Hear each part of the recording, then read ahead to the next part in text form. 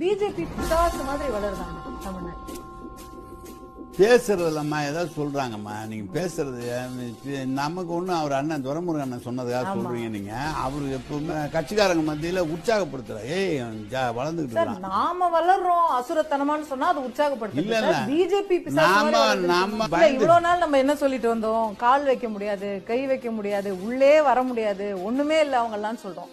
ஆனா இன்னைக்கு நாமளே என்ன மாத்தி சொல்றோம்? அவங்க பிசாசு மாதிரி வளர்றாங்கன்னு சொல்றோம். அப்போ ஏதோ மாறி இருக்கோ நீங்களே கூட ஒரு இடத்துல பேசுறீங்கன்னு நினைக்கிறேன். தமிழ்நாட்டுல அதிகாரிகள் எல்லாமே பிஜேபியை பார்த்து பயப்படுறாங்க. ஆமா சொன்னேன். எப்படி அது? அப்போ எப்படி தமிழ்நாட்டுல திமுக தான் ஆட்சியில இருக்கு.